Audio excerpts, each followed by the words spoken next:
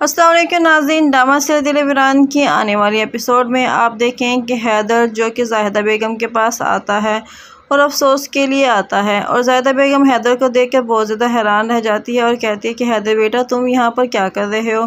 तो हैदर कहता है कि, आंटी, मैं आपसे अफसोस करने आया था वली के लिए और आजकल वैसे भी मैं वली की कंपनी में उसका जो है बिज़नेस देख रहा हूँ। ये सुनकर ज़्यादा बहुत ज़्यादा खुश होती है और कहती है कि, क्या तुम मेरे बेटे वली का बिज़नेस देख रहे हो? तो हैदर कहता है, जी आंटी, मैं वली का बिज़नेस ही देख रहा हूँ। तो ज़ायदा बेगम हैदर को बहुत ज़्यादा प्यार करना शुरू हो जाती है और कहती है कि यहाँ आओ, मेरे पास बैठो। तुम वली का बिज़नेस देख रहे हो तो जैसे तुम मेरे वली जैसे ही हो। तो हैदर कहता है कि, आंटी, मुझे उसका बहुत ज़्यादा अफसोस हुआ। मुझे नहीं मालूम था कि वो इतनी जल्दी हम सबको यूँ छोड़ कर चला जाएगा। ये सुनकर ज़ायदा कहती है कि हाँ अफसोस तो मुझे भी है, लेकिन अल्लाह के आगे हम क्या कर सकते हैं? तो नाजिन क्या होगा ड्रामा से दिल वीरान की आने वाली एपिसोड में? ये जानने के लिए हमारे साथ रहिए और हमारे वीडियोज़ को लाइक करते रहिए। मिलते हैं अगले वीडियो के साथ। अल्लाह हाफि।